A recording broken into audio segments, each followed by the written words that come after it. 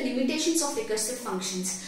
As we already seen two examples, the recursion concept always will reduce the coding part but the problem with the recursive calls is first we analyze the factorial uh, example. What factorial has done there? n into factorial of n, min n, n minus 1. So what are we doing? 4 into factorial of 4 minus 1 is 3. So what is happening? You are going to another function call. In such cases, this what about this value 4? It should not be forget by the system. So what the system does is, it will take the concept of stacks, a data structure and it will place 4 in that stack.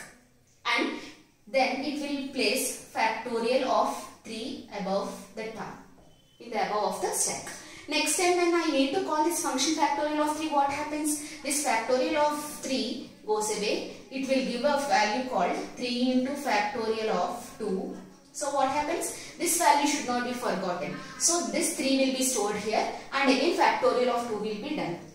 This happens continuously until factorial of 1 is calculated and the recursive call breaks. Now what happens? All these values will be stored in stack so those will not be vanished and you can easily calculate the factorial. Now if it is a factorial of 4 this is the case. Now if you would like to call, calculate the factorial of 9 or any other bigger number what happens? It includes more stack space. This is a stack so it will take lots of stack space and eventually memory also. That's why when large number of recursive calls are there we more stack space and more memory gets wasted.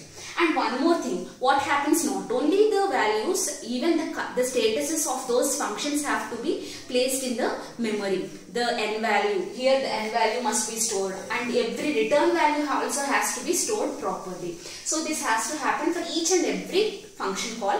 For this lots and lots of memory has to be given for that and it is very difficult for us to find out any error in the recursive calls. Suppose if you have 100 recursive calls, if it, the recursive call has any problem with the 98th recursion call, we cannot trace it easily. It becomes very difficult. So these are some of the limitations of recursive functions that we have discussed in this session.